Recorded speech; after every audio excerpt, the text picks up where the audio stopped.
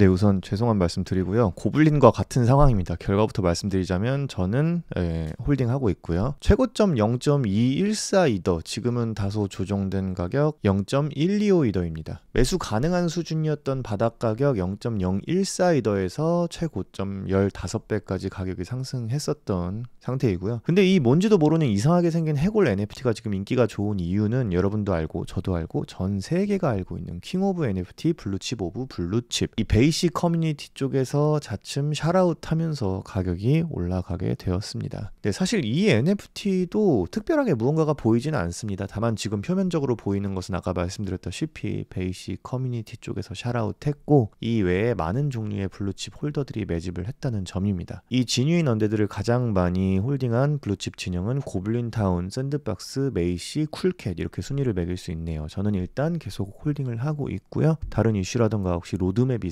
생기게 된다면 또 정보를 전달 드리도록 하겠습니다. 저희 멤버십 이용하고 계신 분들은 아시겠지만 제가 매수하는 내역들을 매번 디스코드에 업로드를 해드리고 있어요. 아시죠? 네. 혹시 안 보고 계신 분들 관심 있으시면 꼭 챙겨 보시고요. 벤틀리 타시기 바랍니다. 복지사였습니다.